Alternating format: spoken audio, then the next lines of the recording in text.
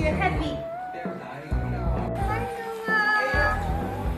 My baby son. You're a pumpkin, my pumpkin.